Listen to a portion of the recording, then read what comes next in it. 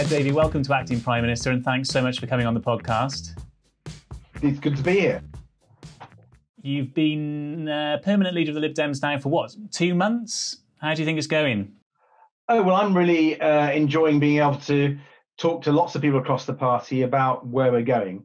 Uh, I've had to give the party some uh, truths, namely that we've had a bit of a bad time in the last five years, three poor election results.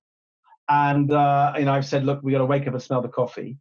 And uh, people actually get that. And they get that we've got to get back in tune with the British people. That the British people have been sending us a message that we haven't necessarily been focusing on their issues. And I remember a time when we were a powerful, distinctive, principled voice in British politics that people really res- uh, understood and it resonated with them.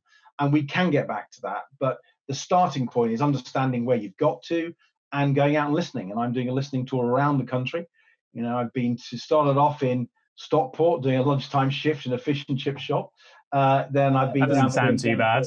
Oh, it was good. I was nice fish and chips actually.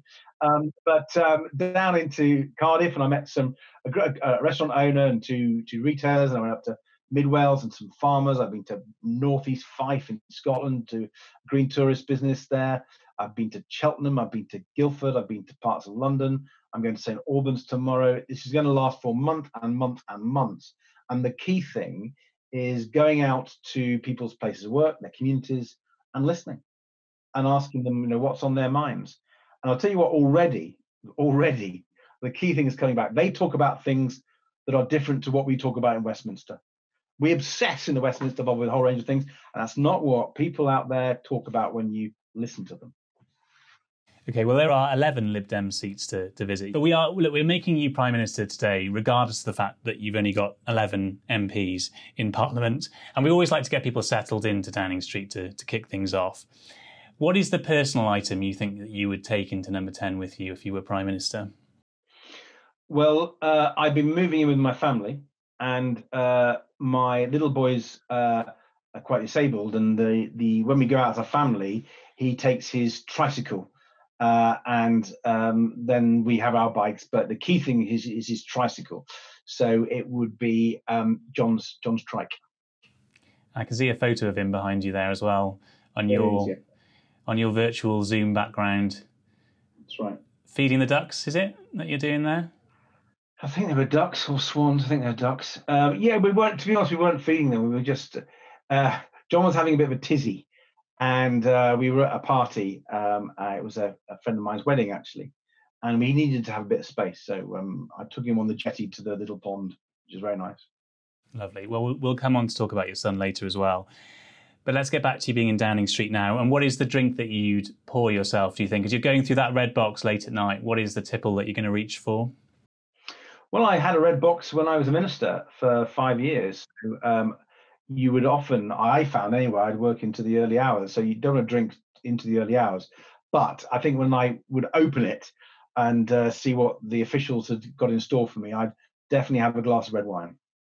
Okay. Uh, and who's the first person you'd call as Prime Minister? Well, I hope it would be Joe Biden, because I hope he uh, defeats the awful Donald Trump uh, on the 3rd of November. And um, restore some sanity to not just American politics and government, uh, but also to in, uh, international. And we we see an American president is prepared to work with their partners for a more secure, safe world, and also to tackle climate change. Okay, well, let's see what happens in November. Let's talk a bit about your path to power now. So, you were born in Nottinghamshire to dad John and mum Nina, who were a solicitor and a teacher. Sadly, you lost both of them in childhood. Your dad at the age of just four, and your mum to bone cancer 11 years later. And then you moved in with your grandparents before going to Oxford University and studying PPE, graduating to become an economics researcher for the Liberal Democrats. In 1997, you were elected as an MP and went on to serve in the coalition government as Secretary of State for Energy and Climate Change, with uh, Nick Clegg, of course, who was Deputy Prime Minister at the time.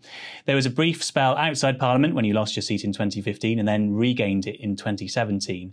And after serving as Deputy Leader under Jo Swinson, then acting leader when she lost her seat, uh, this year you were named as the new permanent leader of the Liberal Democrats. And I just wanted to start by talking a bit about your childhood because it is something that you talk about quite openly. It's sort of come to help shape your leadership, really, isn't it? It's come help, come to sort of help define you as a as a leader because you did lose your dad at such a young age. Um, what what do you remember of him and and and, and losing him? Well, I remember very little of him, unfortunately, and most of my memories come from the stories that my mother used to tell uh, myself and my brothers of him. Uh, I do have a recollection of being picked up from play school when uh, my dad was in the back of the car with a long trench coat on because he was undergoing chemotherapy and was quite weak. And that's uh, my only memory I actually have of him in my mind. Uh, but you know, you've seen the pictures and so on, and it was many years ago actually i was uh, with my gran i became a carer for my grandmother having uh, her looked after me when i after my parents died and we were flicking through a photograph album and there was a press cutting in this photograph album and there was a picture of my dad opening uh, the liberal garden fete in Sutton-in-Ashfield, Nottinghamshire. Um, and I'd always thought he'd been a Tory because apparently he played snooker at the local Tory club.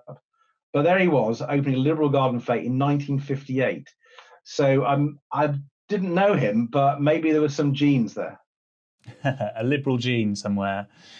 And of course, you cared for your mum too. When she had cancer, you, you looked after her as a, as a child carer. How much did you need to do for her, and, and, and what was that like for you? Because it, it, doesn't it doesn't sound as though you, you got much of a childhood in a way. There was a lot of responsibility on your shoulders from a very young age yeah, but listen, um, the, the the great thing I had was love. Uh, it was a very loving household, and um, both from my mum and from her parents, my grandparents. So I just want to make that clear because when you've got that stability of, of a loving relationship within the family, that can take you through quite an awful lot. And uh, losing my mum and after that long illness, it was it, that was tough, and there's no point pretending otherwise. Um, we just do everything for her. I mean, um, particularly towards the last year and a half. So preparing her food, sometimes taking her on off the toilet, administering medicines. Um, she was in a wheelchair uh, for quite a long time, so take her out in the wheelchair. Um, I mean, her she had a very painful disease, and one of the uh, ways of relieving it was actually to put these pads on her um, with a bit of gel, and she would then give herself electric currents to sort of distract the pain. And you know, that was quite something um, to have to do for your mum. Um, but there was lots of positive things. I mean, you know, I would sounds odd, but I'd lie on uh, her bed because she was obviously bedridden for most of the time, the last two years, and I just sit and talk to her. And we we bought a portable telly and we watched telly together sometimes. And carers are a huge part of of your new drive as as Lib Dem leader, and I guess that is a lot to do with your own experience, your own personal experience. And now, of course, you do care for your son who's got his own needs. How has that been during COVID 19? Because a lot of carers say that they are quite exhausted by the experience of COVID 19 and, and they haven't been able to get the same support. Have, have you found that things have been, have been different for you? Oh, yeah, I mean, particularly during lockdown. Um, because John was taught at home and had some help, and almost not all of it, but almost all of it stopped. Now, the upside was I was uh, locked down too at home.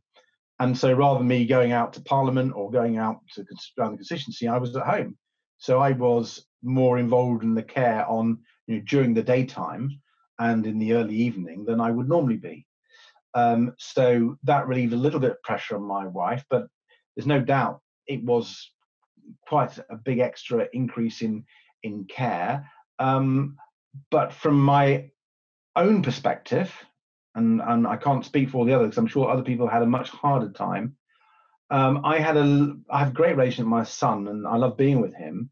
So I didn't I didn't feel annoyed or irritated by that, or even exhausted. Um, uh, I, I, feel privileged. We have a house with plenty of room. We have a garden, um, and I have money coming into the bank into the, my bank every month. I feel privileged, um, even though I'm not denying that there were some challenges. What I do know about, in and both read about it recently in, in Carers UK's uh, quite quite strong report uh, released early this week, to talk to carers in my own constituency, there are some carers who've had a very, very tough time, um, where they've just not had the support, the respite. Uh, they're worried about money. They've not been able to go out um, uh, as easily and get get a break. So, so some carers have had a really difficult time, and more people actually have been caring during this respite. I've had to do some caring than normal, um, and so the number of carers have actually gone gone up. And so, for, for me, um, being having been a carer much of my life, a young carer, carer for my elderly gran, and now carer for my son. Um, I guess it, that experience, which which for me hasn't been an, in any way an awful experience, has been with my my loved ones, but it's taught me how tiring caring can be. There is nothing glamorous about being a carer. I mean, you're taking people on and off toilets often. You're feeding them. You're dressing them. You know, my son can't dress himself. Um, he can't walk, he can't talk. And um, that means he needs 24 7 care. And that means everything. so it's not glamorous. Um, it, I, I, find it, and I found it with my mum, it, it, it was a natural thing to do because you love them. What, what I find uh, must be trying of people who have got their own health issues and they're trying to be a carer. So, um, thinking about uh, other people doing those caring responsibilities, knowing that it can be so exhausting. Um, you know, I, I just feel as a the party leader, I want to speak out for them. And you know, there are millions of carers, paid carers who are doing professionally, yes, uh, and but many, many more unpaid carers. And for me, this is an issue about giving them a voice um, because I just don't think they're properly recognised in our society it's also um, about um, an equality agenda. Because guess what? Who are the people who do most of the caring? They're women.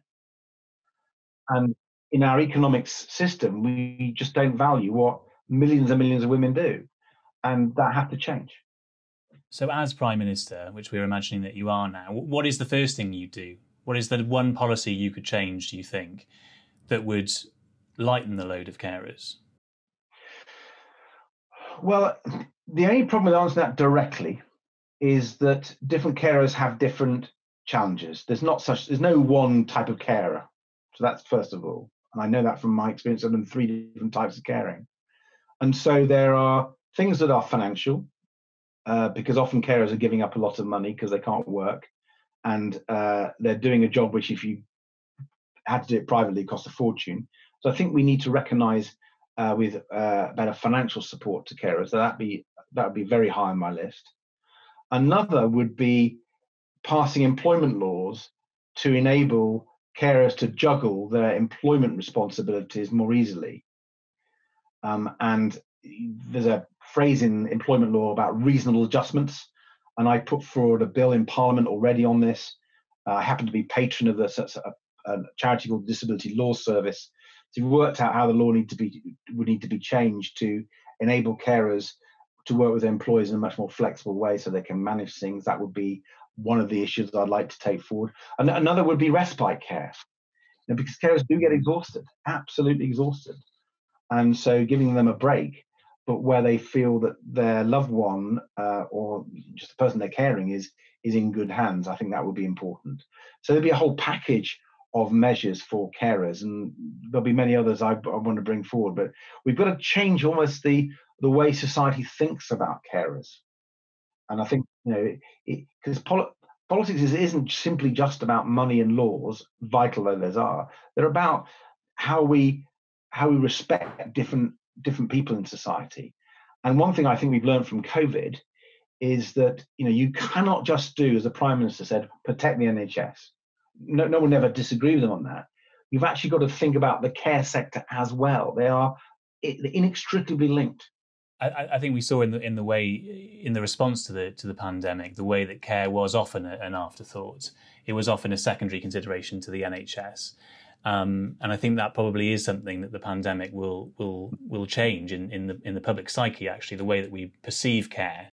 Well, I, am determined. I'm determined to campaign on that because um, we've been arguing it for a long time. We've had people, colleagues of mine in the past, Norman Lamb on mental health, Paul Burstow, another great Liberal Democrat, on care for the elderly. We've been banging this drum that you've got to see health and care together.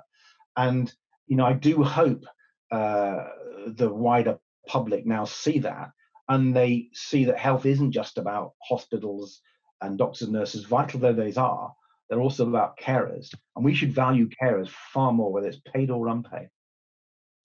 Okay, well, look, talking of the pandemic, as Prime Minister, you know, not everything is going to be planned. You're not going to be able to just implement all the policies that you want to. Some things are going to come along that knock you off course. And Boris Johnson's obviously learned that with, with this pandemic, which is now defining his premiership. There is this big divide in politics now for the first time, I think, in the pandemic about the response and about lockdowns. And the government was taking the regional lockdown route. Labour's saying, look, have a national circuit breaker lockdown. Where do the Lib Dems stand on all of this? What is the right way to deal with this second wave? Oh, we've been very clear from the start. You should follow the scientific evidence and SAGE, and um, that's why um, I take the same view as um, Keir Starmer on this. That uh, when we saw the SAGE advice published relatively recently, it was very clear that the scientists and medical experts were saying, "Look, this is getting out of control. The probably the quickest way to sort to sort this is a national uh, circuit breaker for two to three weeks.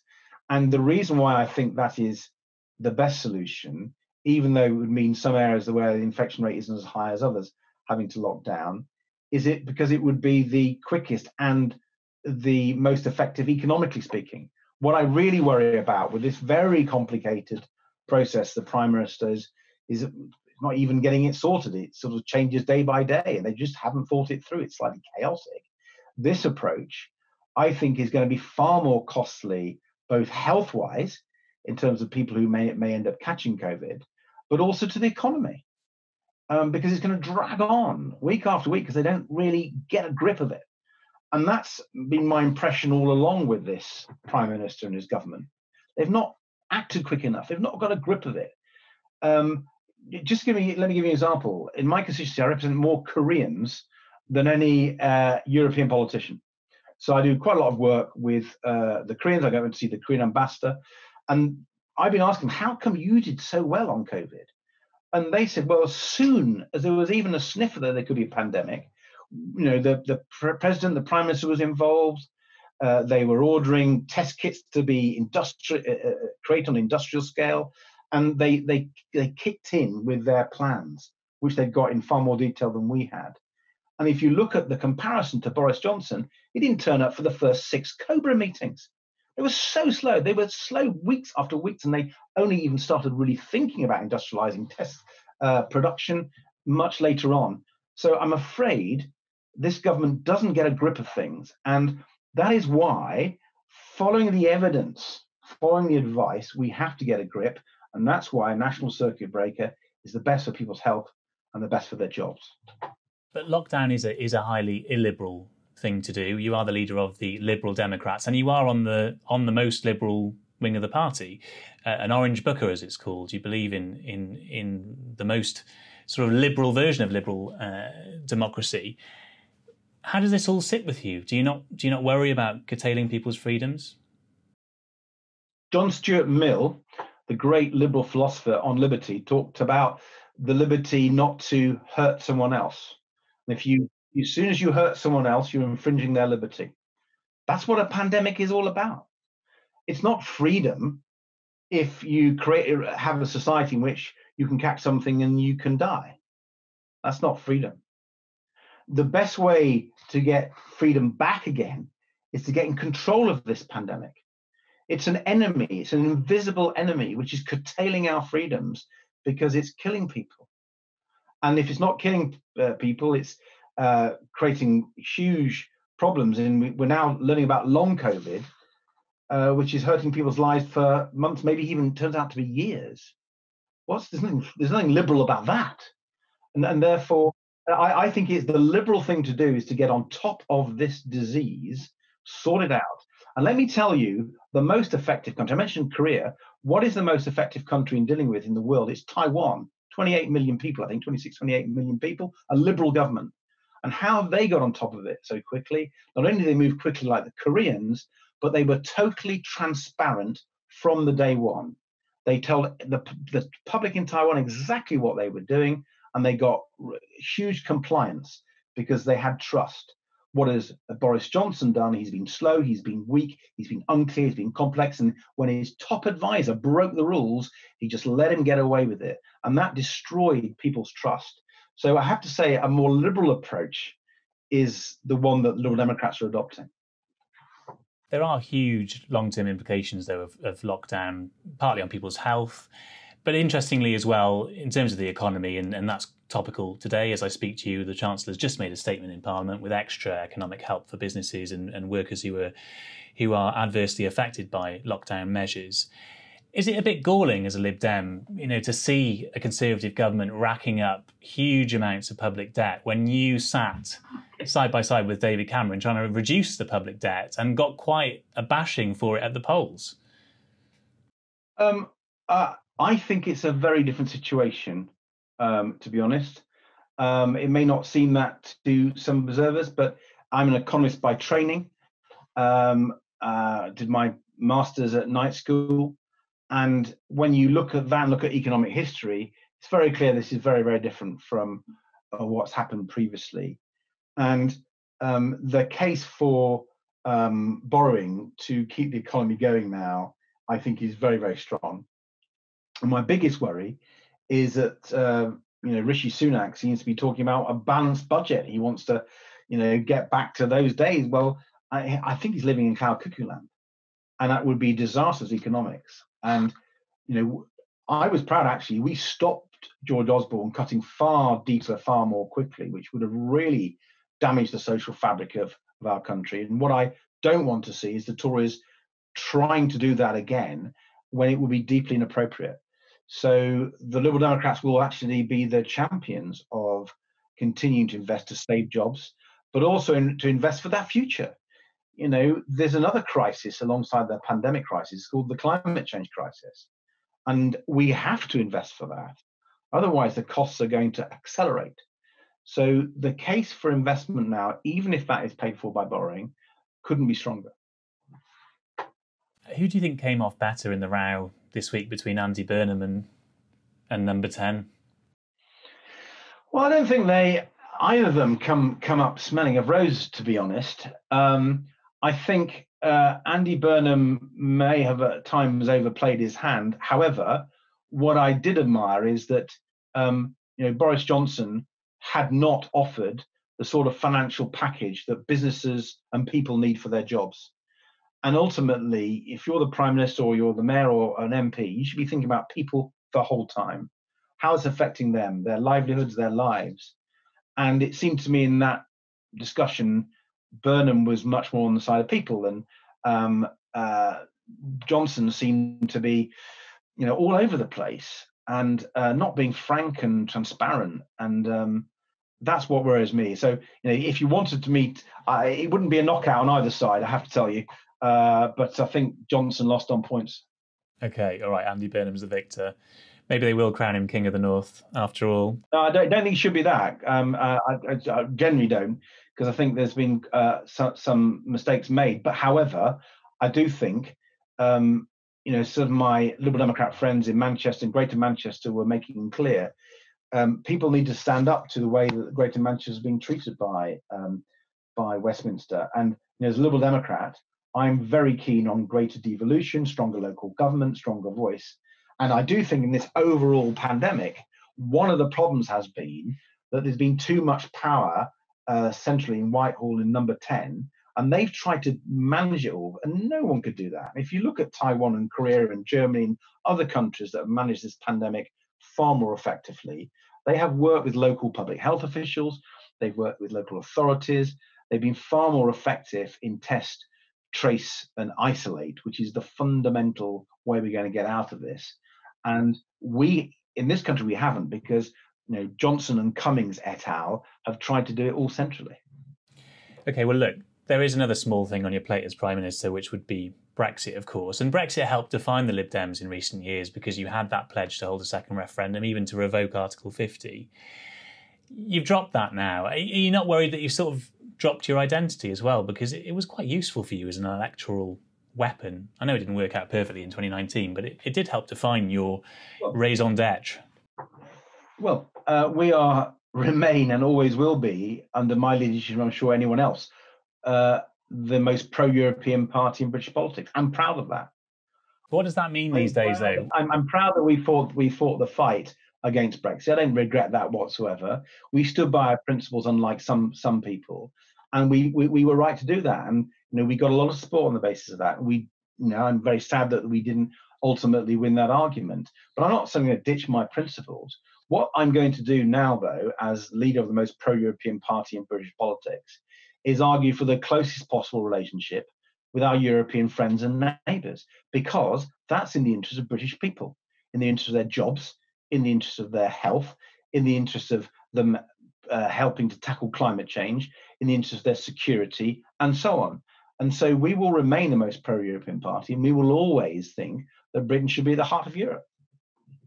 Can you imagine, though, the Lib Dems going into the next election arguing to rejoin the EU? Listen, the next election is quite a way off. Uh, we haven't even uh, got the Brexit trade agreement done. I mean, the chaos and uncertainty. I, I talk to businesses uh, every week, and they, they and they are so upset about that. And so, this is the answer to your question: is that you know, let us see how this works through, what the impacts are. You know, I, am not going to go down the hypothetical route. What I am going to deal with is what's in front of me today, and I see a government that's grossly incompetent. Uh, over this pandemic, you know, the British people, it's one of our darkest hours in recent years, and they're failing there. They uh, are not actually delivering what they said they would do. They said they got an oven ready deal. You know, come on, pull the other one. Uh, and uh, it's the businesses' investment and jobs that are, that are being squandered here. It, it's really incompetent by this Johnson government. I mean, the clock's ticking on a trade deal as well. Talks will now actually resume with the EU. Do you think maybe those talks should be extended if if there isn't a deal done in time for the end of the year? Well, um, I expect there to be a deal, right? I mean, I think there's a lot of posturing and playing. It's just like Johnson did before. Um, it's pretty unpleasant. I mean, last time he did it over um, a battle with the Supreme Court and, and, and Parliament, and this time he's doing it um, uh, over, um, you know, the rule of law, and it's it brings uh, the British government into disrepute and tarnishes our reputation, frankly.